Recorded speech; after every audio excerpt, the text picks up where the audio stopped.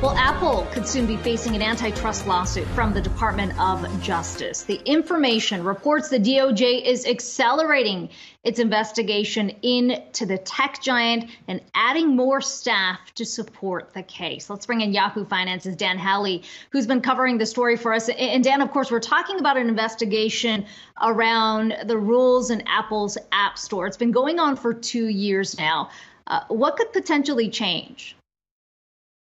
Yeah, so this uh, investigation really kind of uh, getting more gas uh, added to it. I guess really the, the big deal here uh, is that there were uh, subpoenas sent out, excuse me, uh, and that they're talking to more people about Apple, consumers, developers, as well as the company itself. And you know this has been ongoing for two years, and it is interesting to see that we're starting to get even more momentum. You would think that at this point, Apple's kind of antitrust woes were almost about done. Uh, we had seen that uh, in the Epic trial, uh, they were found to not uh, engage in uh, monopolistic behavior. They engaged in anti competitive behavior. Uh, and in that, they were told that they needed to change the way that developers make or people make payments to developers through the App Store. but Apple is appealing that right now, and they're seeking an injunction to prevent that from moving forward. Uh, but really, you know, we haven't heard anything as far as this DOJ um, investigation goes. We had heard about it some time ago, uh, and really, it's been kind of radio silence since then, with the focus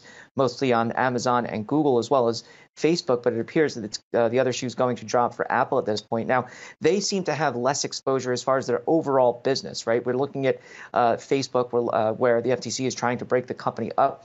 Or we're looking at Google and its ad business. You know, Apple makes a good amount of money out of the App Store, but that's not really where the breadwinner is.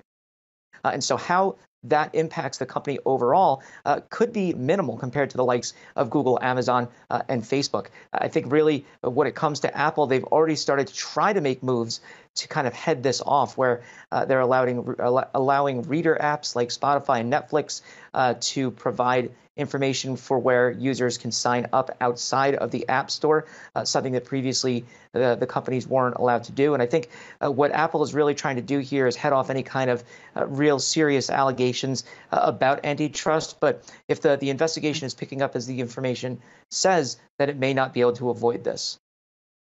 And to what extent, Dan, do you think that can be effective in in keeping the DOJ at bay? I mean, the information seems to suggest that this investigation is moving forward, regardless of what the steps Apple has taken already. But I wonder what the thinking is within the company about this being a solution that they can bring to the DOJ to make, basically hold off a potential lawsuit. Yeah, I think really what they're trying to do is hold on to the grip that they have as far as power over the App Store and developers. Uh, you could see that through uh, the way they're appealing the ruling in the Epic uh, Games case, where they're trying to ensure that they don't have to allow third party payment options for developers. And that's something that really is going to be the big sticking point here. It's the control that Apple has over the App Store and how developers are able to get payments. And I think that's going to continue to be the issue. And I don't think that Apple is going to concede on those points. I think it really is going to end up having to uh, really be up to the DOJ to say, uh, we're bringing this suit. Let's see what, what you kind of go for next. Uh, if you make moves or if you actually want to continue to fight this. And, you know, look, this doesn't look good for Google either, by the way, because their App Store and Apple's App Store are essentially the